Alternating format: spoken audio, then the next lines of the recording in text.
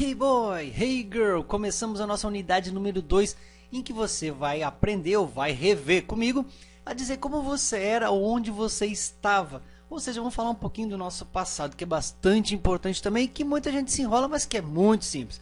A gente começa então dizendo o quê? A gente começa da seguinte forma: falando das afirmações. Por exemplo, aqui eu digo o quê? Olha só como pronuncia esse verbinho, tá? Eu falo I was sick. I was sick, ou seja, eu estava doente. Lembrando que a importância dessas aulas é justamente dar confiança para você e segurança para pronunciar e para confirmar também as suas as, atividades que você fez na hora que estava traduzindo e checando as semelhanças do inglês com o português. Então eu digo I was sick, eu estava doente, tá? Agora aqui, ó, veja, se aqui era was, aqui eu vou dizer were. Então dizendo you were her friend, ou seja, você era amigo. Lembrando que a qualidade vem sempre antes da coisa. You were her friend. Were. Was, were. Como se fosse monstrinho mesmo, tá? Aqui eu vou dizer o quê? Eu vou dizer que ele nasceu em 2003. He was born in 2003. He was born in 2003. Você acabou de aprender também que o in é a preposiçãozinha que a gente usa para falar o ano, por exemplo, tá? E novamente aqui, ó, she was a very beautiful girl. Lembrando que a coisa está aqui, a pessoa está aqui e aqui estão as qualidades dela, dizendo que ela era muito bonita. Então, se eu for traduzir, eu vou ter o quê? Ela era uma muito bonita garota. A gente adapta isso, né? Até perceber que a melhor tradução seria she was a very beautiful girl, ou seja, ela era uma menina muito bonita, ok? She was, ok, ou seja, was and were Tá? I was, you were, he was and she was. A gente segue falando agora daquele pronomezinho, da coisinha que refere-se a um animal ou objeto. Eu olho, por exemplo, para um vaso e vejo assim: It was broken. It was broken, ou seja, ele estava quebrado. Vou dizer então agora que nós estávamos muito tristes. We were so sad. We were so sad. E outra coisa, quando você vira uma, ó, como observa aqui, ó, tem três consoantezinhas vazias aqui, ó. Não coloque, tá, nenhum momento uma vogal aqui que é a tendência do português de fazer, tá? Então não é dizer you were so sad. Não, you were so sad. Como aquela, quase não pronuncie essa consoante que vai estar isoladinha sozinha ali, tá?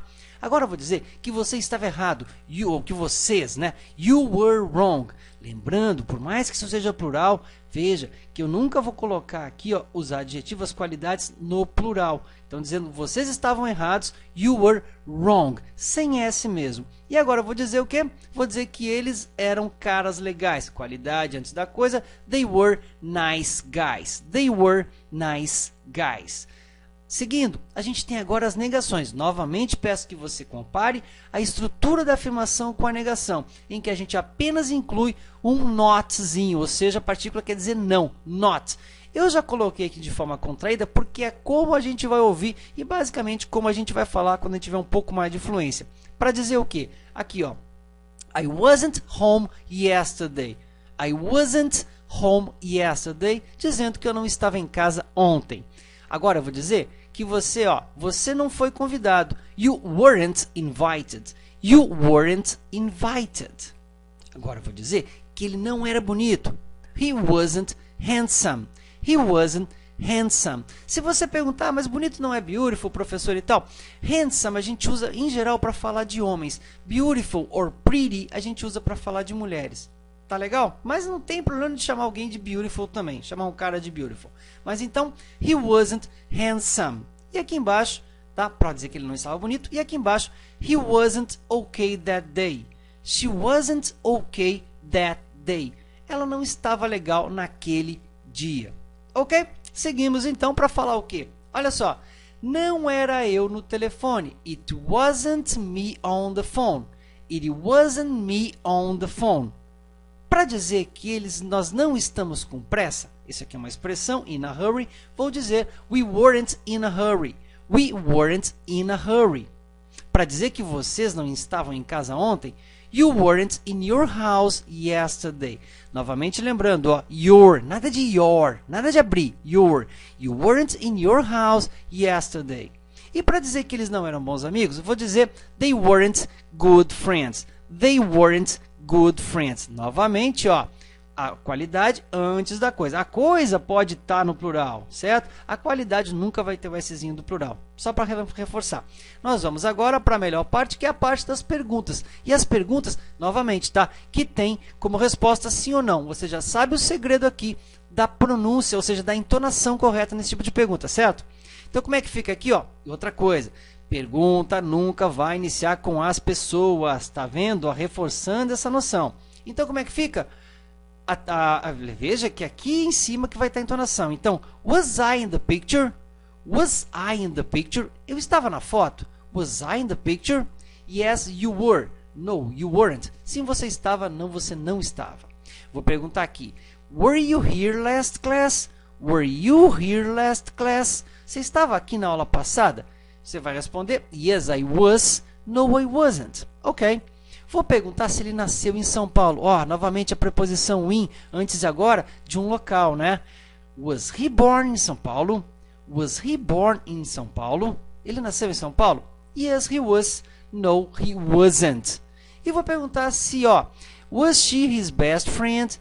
Was she his best friend? Ela era a melhor amiga dele? Was she his best friend? Yes, she was. No, she wasn't. Lembrando, a entonação aqui é muito, muito importante. Seguindo nas perguntas de sim ou não, cuja resposta é sim ou não. Se eu perguntar assim, esse era o vestido dela? Was it her dress? Was it her dress? Esse era o vestido dela? Yes, it was. No, it wasn't. Vou perguntar se você estava nesse ou naquele ônibus. Nesse que está pertinho de mim ou naquele que está longe de mim. Were, oh, se nós estávamos, né? Were we on this or that bus? Were we on this or that bus? Were we on this or that bus? E a resposta pode ser We were on that bus. We were on that bus. Vou perguntar se vocês estavam na festa. Were you at the party? Were you at the party? Yes, we were. No, we weren't. E vai perguntar se eles eram policiais ou bombeiros. Were they policemen or firefighters? Were they policemen or firefighters? E a resposta pode ser They were policemen. Police, not policy, tá? Police, police, police. Seguimos nas perguntinhas agora, que vão colocar pra gente as palavrinhas do WH Double Weight Words. Só para reforçar a pronúncia: What, Who, Where, When, How and Why. What, Who, Where, When, How and Why. E lembrando a você que a entonação aqui muda agora um pouquinho. Ela está no começo da frase e não no final. Então, por isso fica What was that noise? What was that noise? Que barulho foi aquele? Alguém pode responder It was a car crash. It was a car crash. Ou seja, foi uma batida de carros. Posso perguntar quem estava com você na tarde de ontem? Who were with you yesterday afternoon? Who were with you yesterday afternoon? E a resposta pode ser I was with Mary. Eu estava com a Mary. I was with Mary. Olha aqui, ó, com, né? Com. Olha como pronuncia o com. With, with, with, with, with. Tá bem suavezinho esse TH. E posso perguntar onde vocês estavam na noite passada. Where were you last night? Where were you last night? Where were you last night? E a resposta pode ser I was at home eu estava em casa. I was at home. Você já deve ter reparado que eu falo in the house e at home. São expressões fixas, tá legal? Então, where were you last night? I was at home. Seguindo, a gente tem mais perguntinhas com as palavras do WH. Quando, como é que eu pergunto quando você nasceu? When were you born? When were you born? E a resposta pode ser I was born in 1995. É assim que a gente aprende as preposições, vendo elas onde elas moram. I was born in 1995. Quando eu for falar de números de, de, do, do, do, do, século de 1900, eu separo os dois, tá? Eu falo 19 e falo 95, ok? Bom, olha agora como é que fica. How, how was the convention? Como estava a convenção? How was the convention? E a resposta pode ser It was very interesting. It was very interesting. Ela estava muito interessante. E posso perguntar agora para terminar, por que, que eles estavam tristes? Why were they sad? Why were they sad? Porque eles estavam tristes. E a resposta pode ser Because they were sick. Because they were sick, porque eles estavam doentes. É, tudo bem? Bom, a gente está encerrando então agora, ó. It's time for the activities, ok? It's time for the activities. Hora das atividades, tudo certo? Vejo você na próxima aula. Em seguidinho você vai descobrir como aprender a pensar em inglês. See you next class. Bye bye.